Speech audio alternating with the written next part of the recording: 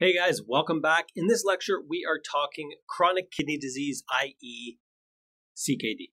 Now, in this lecture, we will go over how to appropriately stage CKD and the purpose of doing so. Additionally, we will discuss the association between CKD and cardiovascular disease, including the risk factors that put a patient at a higher risk for each. We're also going to discuss how to manage CKD, as well as the numerous complications that may arise in a patient with this disorder.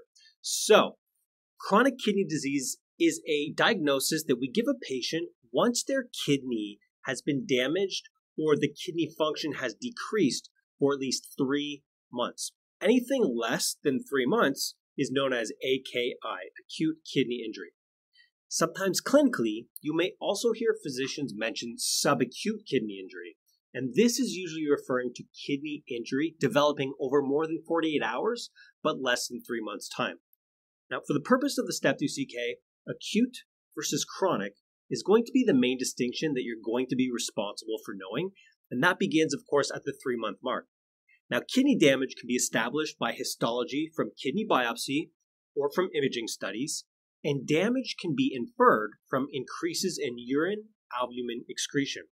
The kidney function can be measured, of course, with GFR. So, after we've identified a patient with kidney damage or decreased function of a duration lasting how long? Three months or longer, the next step is going to be staging the category or staging the degree of CKD. Now, to stage CKD, you're going to consider the cause. We're going to consider the G stage as determined by GFR, as well as the A stage as determined by the albumin excretion rate. And we'll talk about those on the next slide. Now, CKD is staged in this way because it allows us to better identify patients who are at risk for progression, complications, as well as for determining which treatment plan would be most appropriate. Now, patients with CKD, they are at a higher risk of cardiovascular disease, uh, higher risk of malignancies, infections, as well as just overall mortality. And so that's why staging and appropriate management is so critical. As CKD plays a huge role in the patient's overall health, we need to make sure that we know what's going on so we can treat it appropriately.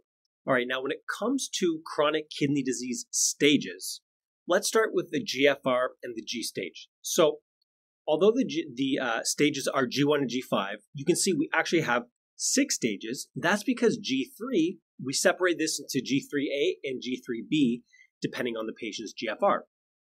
Now, this division of GFR between uh, stages 3A and 3B was put into place following studies indicating a strong risk for mortality and adverse kidney outcomes when the GFR was lower, with those in the 30 to 44 range faring worse than those in the 45 to 59 range.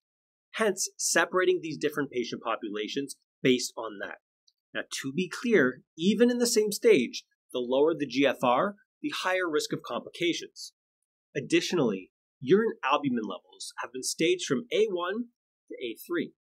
Higher albumin excretion rates have been linked to increased risk for the progression of CKD, for the development of end stage renal disease, and of course for increased mortality.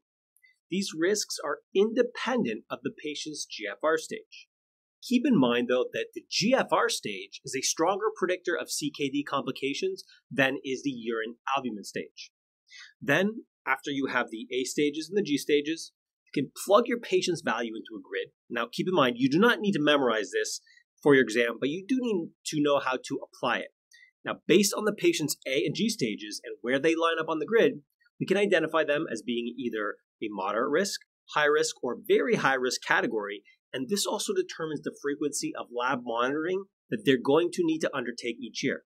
So, obviously, if you look at this, a G5 and A3 is expected to have the worst outcomes and, of course, will require the highest level of monitoring.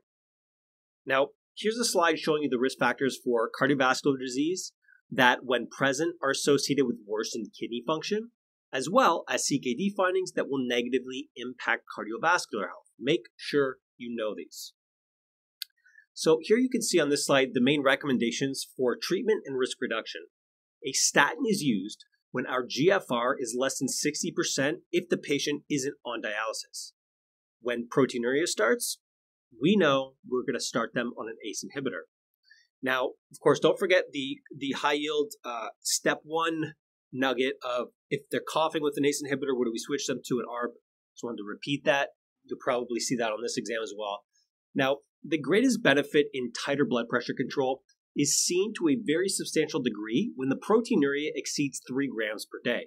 But a modest benefit is seen when this tighter blood pressure control is applied to patients who are excreting between 1 and 3 grams per day. No benefit is typically seen in the stricter blood pressure recommendations if the patient is excreting less than 1 gram per day, so keep that in mind if they give you these values in a vignette.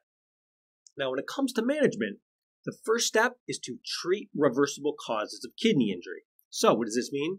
Stop nephrotoxic drugs, correct hypovolemia, relieve any obstruction. Whatever the appropriate treatment is for that individual's cause of CKD, you want to work on treating it if it's reversible. Once that's done, initiate strategies that will slow the progression of chronic kidney disease. And lastly, you want to treat complications that have arisen or are typical or are, are likely to arise as a result of CKD. And we'll go over those in the next couple slides, but this includes things like volume overload, electrolyte imbalances, metabolic disturbances, etc. Now, there's a mnemonic we use for knowing when dialysis is needed. That mnemonic is AEIOU. A stands for acidosis.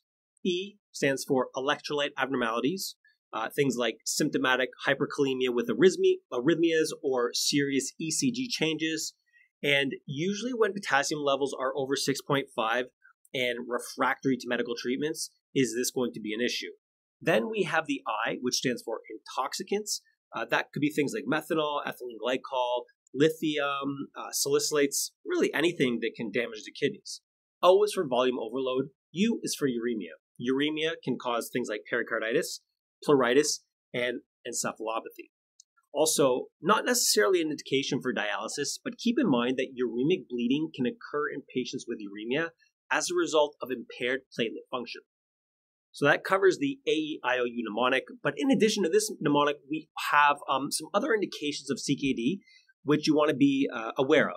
These are things like worsening nutritional states. So if the patient's not eating, if they're nauseous, if they're vomiting, um, if they are losing a lot of weight, also if they have significant cognitive impairment, as reported by themselves or maybe uh, family members, these are all um, additional indications. Okay. Uh, and finally, if the patient's encountering a worsening of energy levels, if they are feeling just a sense of general malaise, that would be another indication to dialyze. All right, let's move on and let's talk about anemia and chronic kidney disease. So, anemia will arise in CKD as a result of diminished production of erythropoietin by the kidney. Okay, of course, that is a hormone created by the kidney. This is going to result in an anemia that is a normocytic, normochromic anemia. Before we start treating this patient, we need to do our due diligence and we need to make sure that the CKD is the cause. So that means this is a diagnosis of exclusion. So what are we going to do lab wise if we suspect this? CBC with differential, reticulocyte count, serum iron, uh, TIBC, percent transferrin saturation, serum ferritin, B12, folate. As well, we want to check for a GI bleed. Now, once we've excluded, remember, diagnosis of exclusion, once we've excluded other causes, we can treat with ESAs or IV iron, and the target is to maintain hemoglobin levels between 10 and 11.5 grams per deciliter. And finally, patients with CKD can develop failure to excrete phosphate, resulting in a compensatory hypersecretion of PTH, which will do, be uh, done to correct both the hypophosphatemia and the hypocalcemia. Now, there's also a secondary type hyperparathyroidism that can cause renal osteodystrophy. That can be characterized by things like osteitis fibrosa, osteomalacia, and or adynamic bone disease. And this is managed by restricting dietary phosphate and giving the patient phosphate binders, uh, calcitriol, and or calcium mimetics. All right, let's finish the lecture with three content review questions. So go ahead. Uh, you can hit the pause button. I will give you 20 seconds on the clock. Figure this one out and then come on back.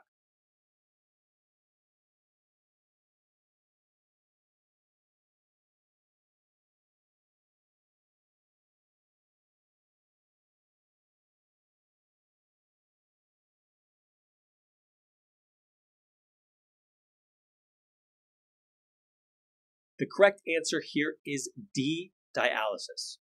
Next question. You have 20 seconds. Go.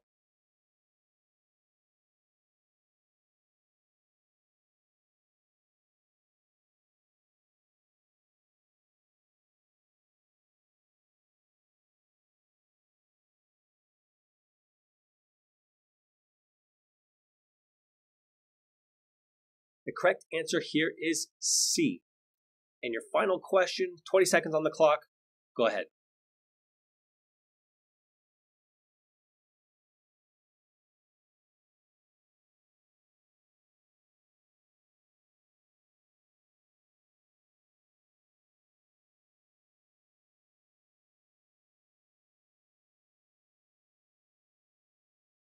The correct answer here is C, hypophosphatemia.